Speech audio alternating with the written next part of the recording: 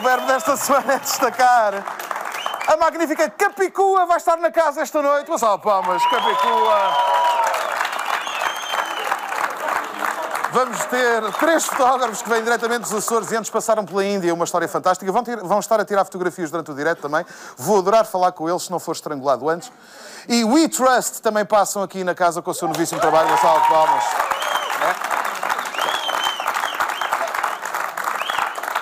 E como destacar é o verbo da semana, vamos agora conhecer alguns amigos do reino animal que se destacam particularmente.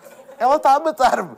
Com a ajuda dos manos Galrito, os magníficos irmãos que têm uma loja de animais exóticos, Tortugas Pet Shop. Uma salva.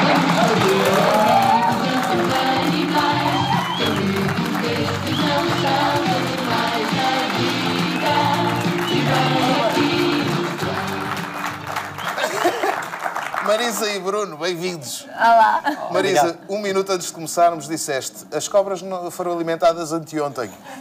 Isso quer dizer o quê? Que estão cheias de fome ou está-se bem? Não, está-se bem. Está-se bem? Sim. Não é o risco de elas se atacarem uma à outra? Não, elas estão juntas no mesmo terrário e já se conhecem. Ah, há elas já se conhecem, mas não Sim. conhecem a mim.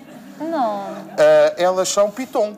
Sim, é uma piton régias. A piton é suposto matar pessoas, não? Ah, não consegue, Olha. não tem força para tanto. Ah, não sei, olha que esta está... mas estas piton são... Quanto é que custam estas cobras, para ter uma É ideia? assim, cada uma, ah, a que tens ao pescoço não está à venda, que é a Buzzy, é uma fêmea. A Buzzy? E, Uhum. Sim, e essa é 150, está microchipada. Ok.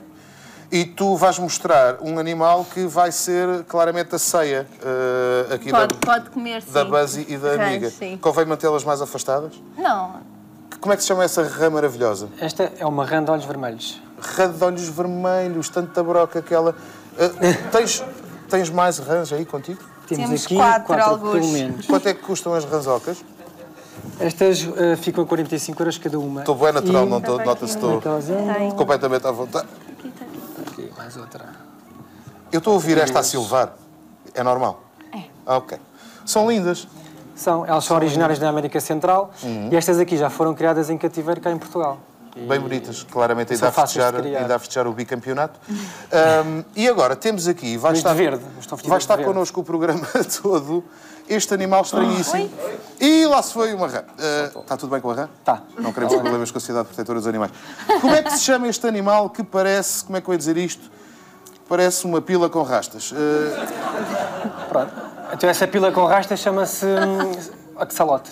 é um axolote? Axolote. Axolote, muito bem. Cobra, as cobras podem comer o axolote? Eh, elas, elas têm uma alimentação diversificada e podem também comer alguns anfíbios, como é o caso do axolote. Bruno, ajuda-me. Esta está a ficar excitada e o axolote não se mexe. Ah, Vou-te ajudar aí com ela. Podemos provar às pessoas lá em casa que o axolote está vivo? Sim, Ah, já agora, por, por, por onde é que estas cobras fazem xixi ou outra necessidade? Pela aquela parte mais perto da, tu- da tua mão. Excelente escolha de camisa branca, não é? Excelente, Exato, pode excelente acontecer. escolha. Tira-me uma das cobras, antes que eu tenha um, um ataque cardíaco, e prova às pessoas que o axolote está vivo. Ela estava a apertar outra vez. Eles são, são, anima- são animais pouco ativos, mas eh, Onde é que vive o axolote? eh, eles, eles são originários também só de um, de um país, que é o México, Uhum. eh, e só existem em dois, em dois lagos no- na cidade do México. Fantástico. e estão em, estão em perigo de extinção esta espécie. Mas hoje em dia todos são criados em cativeiro. Muito bem. E tem muito interesse científico, porque, por exemplo, se amputarmos uma perna ou uma cauda, eles conseguem regenerá-la. Tipo estrela do mar. Exatamente. Fantástico. Ele pode ficar aqui connosco o programa todo? À vontade. Não sofre, vontade. nada, fica impecável? Eles podem viver E assim. vocês estão com o site novo, não é? Exatamente. Portanto, Tortugas Pet Shop, procurem. Tem uma loja online também, que não tinham desde a Exato. O primeira site, vez. o site está renovado, está com imensas novidades e, e pronto, está com a design todo novo. Ah, todos Uhum. Uma os loja anima- online? A loja A online. última vez que nos vimos foi há um ano, ainda não havia. Ainda não havia, exatamente. Tu tens uma filha de um ano e meio? Exato. Ah, Também. E tens cobras ao pé da tua filha, só para saber? Tenho três lá em casa. Tens três cobras E lá ela em casa. adora, adora os animais. Ela adora ir à loja. E agora vamos conhecer o animal mais caro de todos, Espera aí. que é o cão da pradaria. Eu, entretanto, estou-me a habituar a isto. Hã? Gosto? Isto é fixe. Massagem ao mas corpo. é um bocado preocupante se eu ficar com ela o programa todo derivado aqui a, a este Não, se ela jantar. estiver quietinha, não há problema. Eh, Mas vais tirar, vais tirar.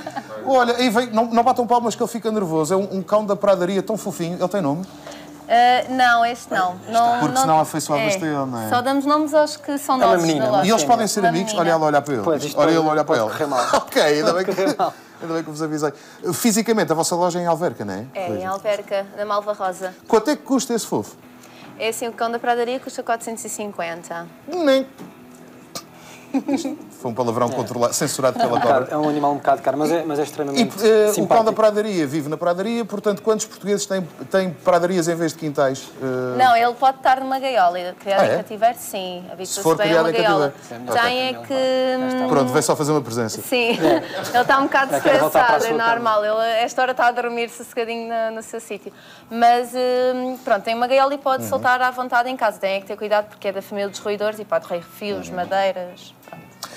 Destes animais todos, qual é o que se, se destaca mais, na vossa opinião, e porquê?